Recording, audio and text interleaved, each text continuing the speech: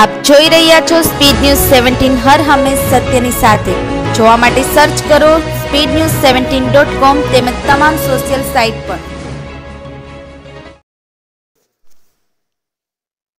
સુરતના ભટા રોડ પર બાઇકને ટક્કર મારી જીમમાં જતા વેપારીના પુત્રનું અપહરણ.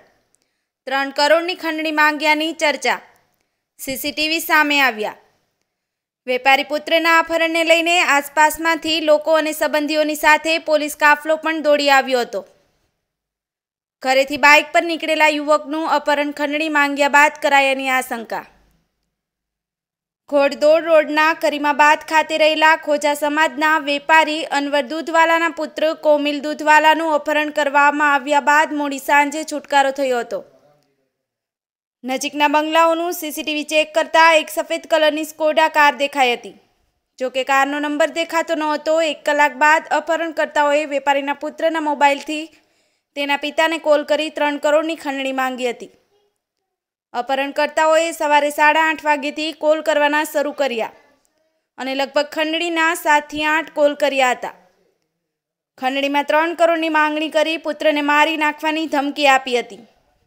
જોકે અપહરણકર્તાઓ બપોરે સાડા ચાર બાદ કોમીને કામરેજ છોડી નાસી ગયા હતા.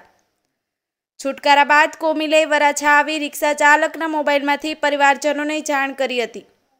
ગુરુવારે રોજની જેમ કોમિલ બાઇક પર વહેલી સવારે છ ચોપન કલાકે જીમ જવા માટે નીકળ્યો હતો. ઘરેથી નીકળતા ત્રણસો પચાસ મીટરના અંતરે કૃષ્ણકુંજ સોસાયટીના નાકા પાસે સ્પીડ બ્રેકર આવતા બાઇક ધીમી પાડતા અપહરણકર્તાઓએ બાઇકને ટક્કર મારી દીધી હતી. ત્યારબાદ કારમાંથી ચાર લોકોએ વેપારીના પુત્રને જબરદસ્તી કારમાં બેસાડી ફરાર થઈ ગયા હતા.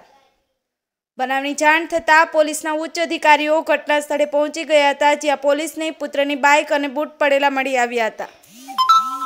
Speed news seventeen Surat.